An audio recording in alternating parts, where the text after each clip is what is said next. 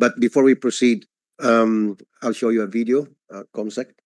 Ito yung Starting with the lower deck, which is where most of the action happens. It's where the crew brings the fish on board once they're in the net. The lower deck also holds one speedboat, a skiff boat, and the net, which is underneath a red cover here. I have the mid deck, which holds two more speedboats, controls for the cranes, and a bunch of supplies such as salt for the fish holds or materials to make uh, payal, aka rafts. After that, you have the upper deck, which is where the bridge is, as well as our parts room for the helicopter. And then finally, all the way up top is the heli deck.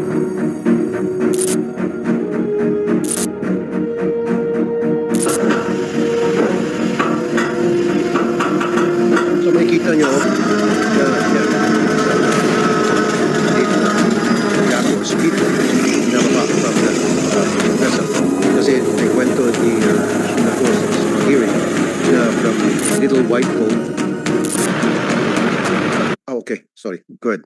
The Little White Boat, uh, sila ay nag-transfer sa uh, fishing vessel. So that could be uh, the scenario na kasi nung una nagdududa ako na paano lilipat ang isang speedboat pasahero sa speedboat o maliit na bangka papunta sa malaking fishing vessel. So, pwede yon From a speedboat, tapos meron yung crane, nakita naman natin, iangat lang papunta sa loob ng barko. Kasi nagdududa ako noon, eh maalon, paano sasampa yung isang pasahero sa maliit na uh, speedboat going to a big fishing vessel. So, ito naman another scenario.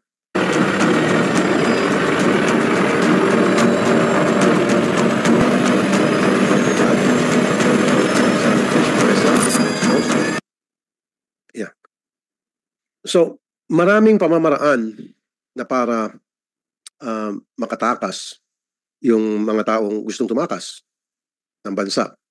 Good afternoon, sir. Your Captain Oliver Estanseko. Okay.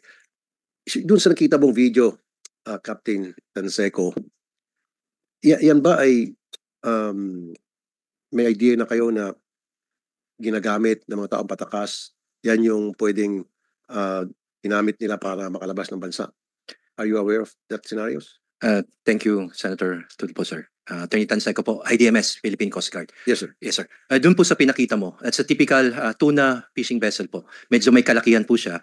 Uh, yung nakita mo po na binababa yung kanyang speedboat, pwede po yun.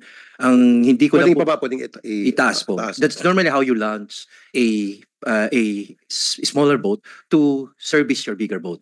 Mhm. Ang uh, the, the only problem with that, y- Your Honor, is that when we do that, that's unsafe. So normally you don't put people on board a small yacht during hoisting because these are basically just crane, a small hook holding the weight of the vessel uh, while it's being hoisted. Now, can that be done to transfer people? Yes, but very seldom because it's unsafe. What we normally do, even if it's a big vessel, if you have a small boat, you want to bring people on board a bigger boat, like the case of uh, statement of um, Sheila Guo. She said they were they were able to get on board a big uh, white boat with nets from a Hmm. small boat. We can do that, Your Honor, because normally even at sea, what the pilot or the master of the big vessel will do is to give the leeway side.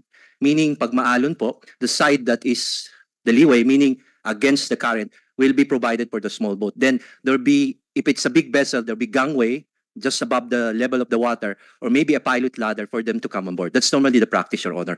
Your next question is, are you are we aware of this one? Yes, it's a possibility, Your Honor. That's why we have, uh, since the last investigation, we have beef up our measures to strengthen security, not only on conventional port, meaning those ports that we have CIQS, meaning the custom immigration and quarantine, because there's a possibility that yachts, pleasure yachts like this one, which is right now, Your Honor, our, our, our inspection, our, our authority to make sure that every vessels that depart from this private port catering to private pleasure yacht, medyo limited po, Your Honor. Doon po sa mga commercial, meaning passenger liner or cargo, doon po, we assure you, Your Honor, meron po tayong team of CIQ, meaning Custom Immigration Quarantine and the Coast Guard.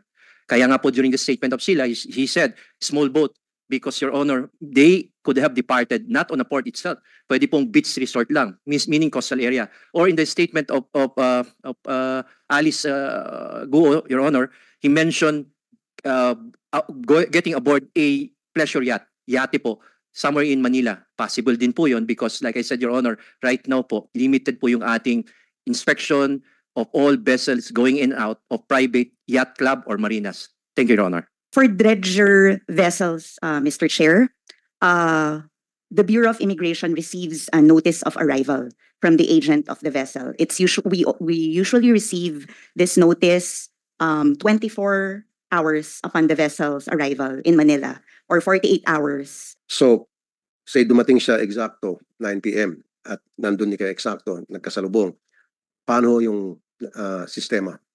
So the procedure, Your Honor, is um, the quarantine medical authorities boards the vessel 1st Mhm. Um, uh, immigration comes in after quarantine medical officers clears the vessel from um, any infectious disease.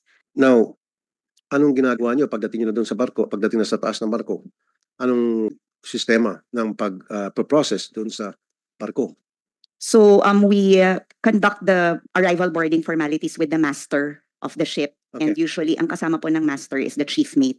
Mhm. So we inspect the travel documents po, Okay. and uh, the crew list and passenger manifest of the ship. Pero when for the dredger vessels po, lahat po yan ay crew ng ah, ng barko. So, tinitingnan nyo yung manifest. After Yes, makita yung manifest, nakita yung mga papeles, ano susunod? So customs performs the their um, arrival formalities na po. Na yung nasa manifest, sa harap nyo, and then may mga passport dyan. Yes, Your. Pwedeng sabihin natin 20 na passport, which means 20 na crew members. So, ibabangga nyo doon sa manifest yung mga passport na hawak nyo. How about Yes, the sir. people, the crew? We muster in the the crew, sir. Ano yung pinapapila nyo? Yes, Your Honor. nakapila sila. Okay. Immigration. So paano nyo po na-account yung mga pasahero? Pinapapila nyo. Tinatawag nyo sila, pila kayo dito, gano'n. Yes, Your Honor. Okay. Ano yun? Pipila sila sa harap ninyo. Saan banda doon? Uh, usually sa master's uh, deck. May, Master's may deck. deck. po na ina-assign So nag-aantay ka doon sa master's deck, tapos sabihin yung kapitan, kapitan, tawag lahat ng mga crew nyo. Tama? Yes, Your Honor. We muster in deck. all the Okay. crew. So darating yung isa-isa, yung crew members, tapos bibilangin nyo, susulat nyo sa papel, ah, titingnan nyo yung mga pangalan, ibabangga nyo sa manifest, and then doon sa passport. Correct, Your Honor. pag nakita nyo na tumutugma yung nasa manifest, sa passport, saka yung physical, yung visual nakita nyo, they were physically there, alis na kayo. Yes, Your Honor. Ang daming butas. So you don't do physical inspection. E paano kung may nagtago doon sa engine room? Ang, ang dideklara lang 20 o 20 kaming crew. And then yung pala may 50 ang nagtago doon sa engine room. Lusot sila. Um, kumuha kayo ng K9. Maybe Coast Guard or Immigration and Customs. At yung K9 na yon mag-aamoy ng drugs at K9 na mag-aamoy ng mga tao. At malalaman, halugugin nyo yung kasulok-sulukan ng mga bar- ng barko. Top to bottom. Para masiguro walang taong nagtatago doon. Kung ano yung nasa taas na nakapila, yun lang yun. Now, tapos nung bababa na kayo. Um, pagbaba ninyo, so nasa laot yung barko, pagbaba ninyo, uwi na kayo sa opisina ninyo. Tama? Yes, Your Honor. chill-chill na kayo, tama? Siyempre, oh, anong gagawin? Gabi, uwi na, so chill-chill na kayo. Paano kung yung mga crew members eh bumaba at uh, say pumunta sa restaurant kumain, pumunta sa 7-Eleven, paano nyo po ma-account yun? Paano nyo po na-monitor yun? Uh, dapat po, dino-notify po kami ng master through the agent. Dapat. Eh paano kung hindi sila notify, matigas ng ulo kasi may balak silang ah, gumawa ng hindi tama? Wala po kaming presence 24-7 sa Honor. Exactly. Again, doon natin nakita yung vulnerability ninyo. Kasi nga po ma'am, sa Sambales, maging dyan sa Manila Bay, dito malapit lang sa ah, amin. Ah, dyan sa dating Sofitel, may kita yung dating dredging vessels dyan. Bumababa yung mga Chinese para magpasyal, para mamalingke, para kung saan-saan silang gumala. So, how would we know kung sila ay babalik pa o hindi? We wouldn't know that, right? Your Honor, usually nalalaman na lang po namin kapag ah, magde-depart na yung barko. Kasi naka, ang minomonitor po namin is yung crew changes. Like yung number, yung dineclare nila na umakyat, yung nag-join na crew, Right. and then ver- versus yung mga bumaba po at ah, nag-sign off na po from their um, contract So sa pag- barko. Kaya nga, pag, pag alis na ng barko, babalikan nyo sila. Siyempre magpapalam sa inyo na paalis na sila. So akyat Mm. ulit kayo, babanggay nyo dun sa records na meron kayo, hawak nyo from the time when they arrived and Yes, then now they're departing. Mm. So magkakaroon ulit ng head counts. Yes, Your Honor. Doon po namin na na monitor kung ah, tama ho kung um consist kung consistent yung number of crew na na record po namin sa office namin doon sa paalis na na crew ng barko. Um, wala kayong um, way na para siguraduhin yung hawak nilang passport ay legit. Ah, alam Sila pa rin yun. yung pagdating po sa pag ah, pagtingin ng passport, we would know po if it's genuine or not. Kasi trained po yung mga immigration officers namin to do that. Very good. And we also ensure that the the passport, um, the the person in front of us is the owner of the passport. So we also have capability of um Nice. determining kung impostor po ang Okay. kaharap namin. So, umakyat ulit kayo, siguro immigration na, wala na yung customs, di ba? Pa paalis na eh.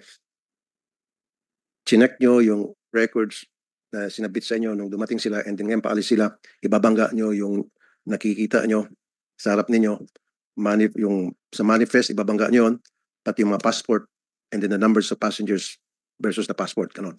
After that, alis na kayo, bigyan nyo ng clearance na, oh, alis. Yes, Your Honor. So, alimbawa, 20 yung pasahero, yung crew, nung dumating, and then akyat kayo, binilang nyo 1, 2, 3, 4, 5, 6, 7, 8, 9, 10, 20. 20 paalis, tumutugma, larga na. Yes, Your Honor. Eh paano kung pag-alis ng barko, hindi lang pala 20, kundi 40 na ang sakay noon? At kasama dun, at yung 20 na sakay doon ay mga kriminal sa Pogo na may mga tinatakasan, nakaso rito, or any criminal, criminals for that matter. Sumampa doon, sumakay doon sa barkong yon para makatakas na. So, wala kayong capability. Your Honor. Nyo yung barko? Um, that admittedly, Your Honor, hindi po namin nagagawa. Yung paghalughog sa, sa lahat ng parts ng barko. Exactly. Yan ang sinabi ko. Kung 20 yung crew na dumating, yun yung bilang ninyo. And then pag alis, binilang nyo 20 pa rin yung paalis. 20 yung crew ni register nung parating. Eh pag alis, nagiging, naging 40 na kasi. Pero yung 20 ay tumago na sa kasuluk-sulukan ng barko. At yun ay mga kriminal na patakas. You won't have the capability to know that. Uh, isa-isang buwan, ilang Chinese vessels sa dredging ang dumarating. At ilan ang umaalis. So base doon sa kwentuhan natin, um, at nakita natin yung butas, yung kahinaan ng sistema sa pag-inspect. Yan siguro ang dahilan kung bakit, isa sa mga dahilan kung bakit nagkalat ang mga droga dito. It's ang dahilan siguro kung bakit ang dami mga taga-Pogo rito, mga Chinese na nagtatrabaho sa Pogo na hindi registered. Or yung mga Pogo na may kaso rito, gumawa ng krimen, nag-torture, nag-kidnap ng kapwa nilang Pogo worker, pwede palang tumakas doon sa barko na yun, sa mga dredging vessels na yun.